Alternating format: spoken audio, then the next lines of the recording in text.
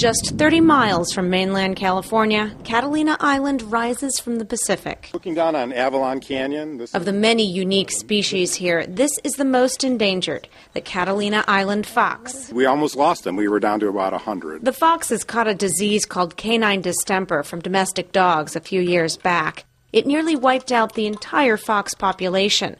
That would have removed a key predator and upset the balance of this delicate ecosystem. It's a good barometer of the overall system health. So when you lose your a- apex, then you have this cascading set of effects that can that can go on in the system. Biologists from the Catalina Island Conservancy stepped in to vaccinate as many foxes as possible. So the vaccine that we give, rabies, is just like you give your domestic dog. Now these wild animals get the kind of vet care you'd give a beloved family pet.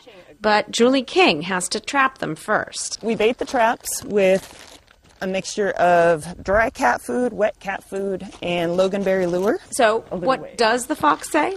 It's nothing like the Icelandic viral pop song. If it's a mother with pups and you're approaching, she'll bark as a warning or to find each other. Mates will bark back and forth as they get closer and closer. With a little help from their friends, the foxes can growl and bark and yip in good health for years to come. Doesn't seem to have fleas, lice, or ticks. Raquel Maria Dillon, The Associated Press, Catalina Island.